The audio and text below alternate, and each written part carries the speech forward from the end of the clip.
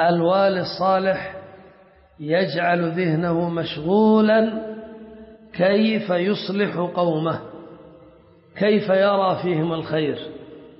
لا أن تكون مسؤوليته ومشيخته كيف استطاع أن يتغلب على مشايخ بني فلان وأصبح هو المصدر عند الناس وكيف أصبح الناس يأتون يتحاكمون إليه وما يذهبون إلى شيخ فلان؟ وكيف أصبح عنده أموال حتى بنى بيتا وحتى اشترى سيارة وحتى اشترى من السلاح كذا وكذا وحتى فعل وفعل وفعل لنفسه أو لأولاده الأعراس المكلفة وكذا وكذا فقط ينظر إلى المشيخة من هذه الناحية ما هذه مشيخة ما هذه مشيخة ولا زعامة.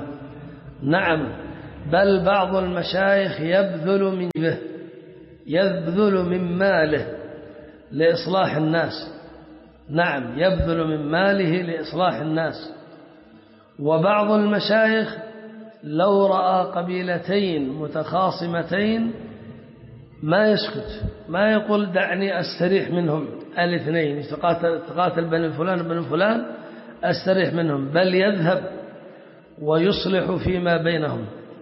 بعض المشايخ يكون الحرب قائمة بين قبيلتين يذهب إلى التي لها الحق ويجلس خارج القبيلة ما يدخل وينصب خيمته أو تحت شجرة ويأتون يا شيخ ادخل تفضل قال أبدا ما أدخل حتى تعطوني صلحا. ويأتي وأكله معه معه الغنم معه الرز والدقيق والكذا ومع أن يطبخ له ويأبى أن يأكل عندهم حتى حتى يعطوه صلحا إلى أن يحين إنجاز القضية. إيش تريد يا شيخ؟ قال أريد صلح سنة. أريد صلح سنة. يمشي الناس يرى الواحد قاتل أبيه ما يعترضه. أعطوه صلح سنة وكتب الورقة تفضل يا شيخ قال شكرا. السلام عليكم. ومشى.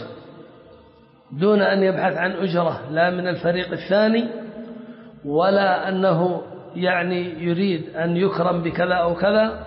هؤلاء هم الذين ينفع الله بهم ويجعل الله في ولايتهم البركة والخير. فالرجل الصالح أينما كان؟ رئيسا أو وزيرا أو محافظا أو ضابطا أو قائدا أو شيخ قبيلة أو مدير مدرسة إلى الولاية الصغيرة أب أو أخ كبير أو غير ذلك.